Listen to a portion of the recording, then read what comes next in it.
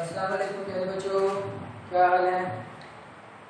बेटा हम पढ़ रहे हैं प्लांट्स एंड देयर पार्ट्स आपका यूनिट नंबर थ्री दो लेक्चर्स आपने पढ़ लिए हैं जिसमें हमने दरख्तों के बारे में पढ़ लिया है, दरख्त किस तरह के होते हैं, उनके अंदर एक दायरा सा होता है, उसके तना होता है, और उसके टाइप्स पार्ट्स ऑफ़ प्लांट्स हमने पढ़ लिया है। कुछ भीगने वाले होते हैं, कुछ दीवारों पर चढ़ने वाले होते हैं, कुछ झाड़ियाँ होती हैं। बेटा, हम सबसे इम्पोर्टेंट पेज नंबर आपका 19 है। पेज नंबर 19 पे हम ये वाला पढ़ने लगे हैं। कि पार्ट्स ऑफ़ प्लांट्स पार्ट्स हिस्से। पौधे के हिस्से कौन कौन से होते हैं? ठीक है बेटा? कि सबसे पहले पढ़ते हैं फ्लावर्स यहाँ पे क्या होते हैं? अगर दरख्त होता है, दरख्त के ऊपर क्या होते हैं? फूल भी होते हैं। फूल भी बने होते हैं। ठीक है? फ्लावर्स और यहाँ पर क्या होते हैं? लीव और यहाँ पर क्या होते हैं? फ्रूट्स ठीक है? ये क्या कहलाता है? स्टेम और ये क्या कहलाते हैं आपके? रूस ठीक है? ये सब क्या है? हिस्से है। किसके? पौधे के हिस्से हैं। Flower flower are the part of some plants that become fruits and seeds ठीक है? फ्लावर्स क्या flowers are the part flowers ऐसे हिस्से हैं, पौधे के of some plants that become fruits and seeds तो यहाँ पे क्या हुआ बेटा? यहाँ पे ये जो फूल हैं, ये जो फ्रूट्स बन रहे हैं, ये ये आपके जो क्या है, फ्लावर्स हैं। ये फ्लावर्स के अंदर बीज होते हैं और इसी बीज से क्या बन जाते हैं, आपके फ्रूट्स बन जाते हैं। क्या बन जाते हैं? फ्रूट्स बन जाते हैं। तो फ्लावर्स है, सबसे मेन पार्ट्स क्या है? फ्लावर्स है। Flowers are the parts of some plants that becomes fruits and seeds कुछ बीज और फल बन जाते हैं सीड्स बीज बन जाते हैं। These grow into a new plants these grows अब ये बीज जो होते हैं फ्रूट्स के अंदर भी बीज होते हैं सीड्स होते हैं। इनको जब ज़मीन पे लगा देते हैं तो ये भी फिर क्या हो जाता है, एक नया पौधा बन जाता है। तो आप देख लो, जैसे आप ऑरेंज है ऑरेंज के अंदर देखो कितने सारे बीज होते हैं। इसके बाद आप देख लो मैंगो जैसे है मैंगो आजकल का सीज़न है मैंगो मैंगो में भी एक बीज होता है। तो ये फूल होते हैं, फूलने के बाद क्या बन जाते हैं, ये फ्रूट बन जाते हैं और उनके अंदर ही बीज होते हैं। इसके बाद सबसे इम्पोर्टेंट हिस्सा क्या पढ़ रहे हैं? Roots roots take in water for the plants from the soil ठीक है, ये क्या करती है बेटा? रूट्स ये ज़मीन के अंदर है, ज़मीन के अंदर है। ये यहाँ से क्या लेती है? पानी प्लस नम क्या।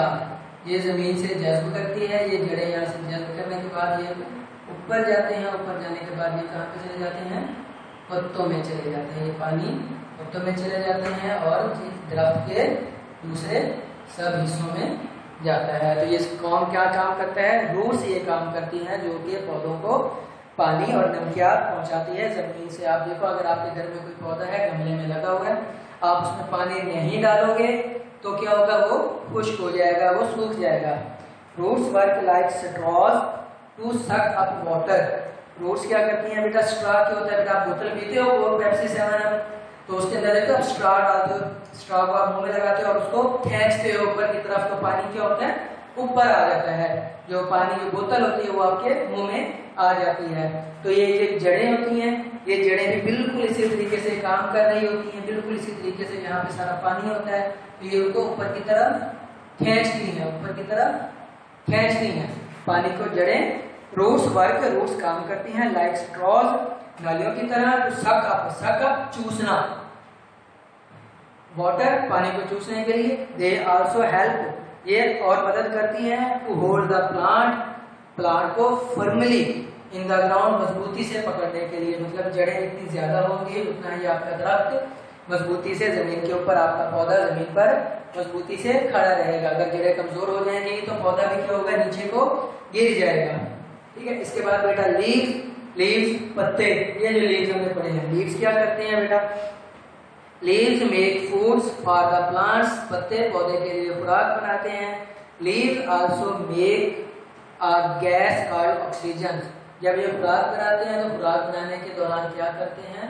ऑक्सीजन खारिज करते हैं।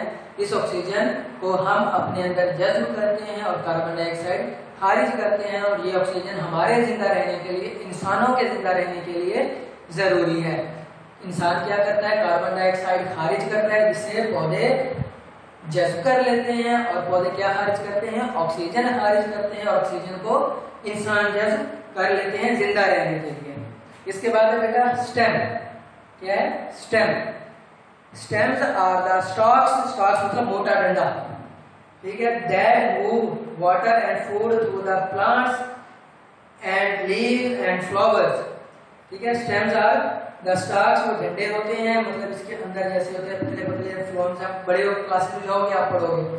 ठीक है? Stems are stalks that move water जो कि पानी को हल्का देती हैं और खुराक को हल्का देती हैं थ्रू द प्लांट्स मतलब ये जो आपके पूरे पौधे में जो खुराक ने इधर भी जाना है, इधर भी जाना है, इधर भी जाना है, इधर भी जाना है, पत्तों में भी जाना है फूल में भी जाना है, फ्रूट्स में भी जाना है तो ये सब कहाँ पे होती है? स्टेम्स के अंदर हो रही होती है, स्टेम्स के अंदर होते हैं, ये सब काम करते हैं।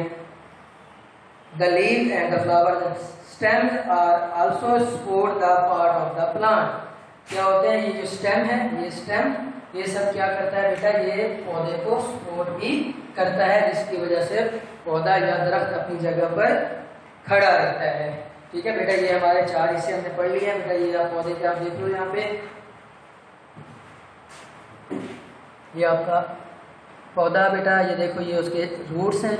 ये रूट्स के ऊपर निशान बना हुआ है। ये स्टेम जो ऊपर वाला हिस्सा स्टेम का है, ये उसके पत्ते हैं, जहाँ पर सूरज की रोशनी में वो क्या करते हैं, खुराक बनाते हैं और ऑक्सीजन को खारिज करते हैं, जिसे इंसान जज्ब करते हैं। इसके बाद बेटा, ये देख रहे हो, ये फूल होते हैं, ये फूल के फूल के बेस इसके अंदर क्या होते हैं, बीज भी होते हैं और ये फ्रूट्स भी बनते हैं, जैसे ये दो फ्रूट्स बने हुए हैं। बेटा, ये आपका आज का लेक्चर ये आपका कंप्लीट हो गया है। आपने क्या करना है? आपने इसके वर्ड्स मीनिंग लिखने हैं। आपने इसके वर्ड्स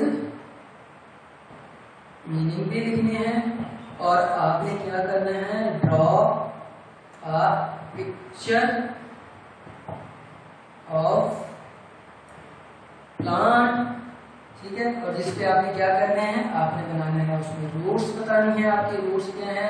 आपने उसका स्टेम बताना है, और आपने उसके क्या बताने हैं? लीव्स ठीक हो गया? और प्लस क्या बनाने हैं? आपने फ्लावर्स बनाने हैं। बेटा, ये आपका क्या है? आपका होमवर्क ठीक है बेटा? तो इंशाल्लाह बाकी कल पढ़ेंगे तब तक के लिए बेटा, अल्लाह हाफिज़।